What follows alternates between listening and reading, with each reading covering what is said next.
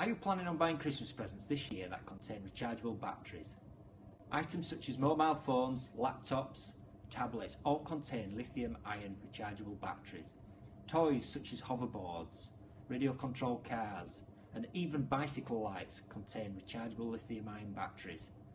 If these are manufactured properly and used safely, they pose no risk. However, if they're used, stored, or charged incorrectly, they can create problems, potentially causing a fire. Here's our top tips for battery safety this Christmas. Number one, always buy your goods from recommended retailers. Buying counterfeit items can put you in harm's way. Counterfeit items miss safety devices that stop the battery from failing and bursting into flames.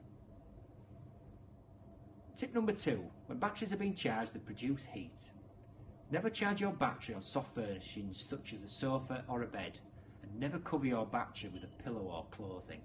This can insulate the battery, causing it to build up heat and burst into flames.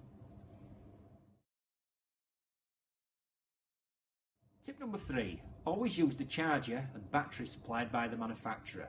Using an incorrect charger or battery can cause a failure within the battery and that also can burst into flames.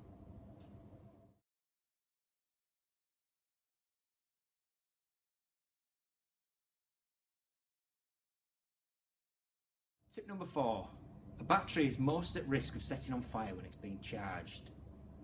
When you're charging a battery, never charge it when you're asleep and never charge it when, you're, when it's unattended.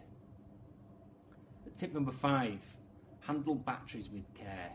A damaged or dented battery can cause an internal short circuit and then uh, the potential to set on fire.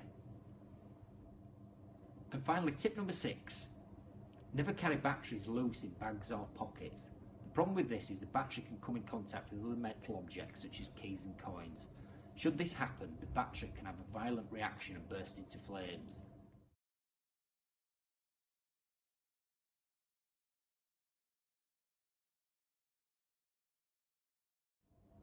This can be a problem for e-cigarette users.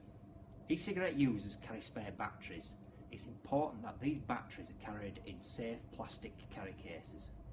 West Yorkshire Fire and Rescue Service wish you a safe and Merry Christmas.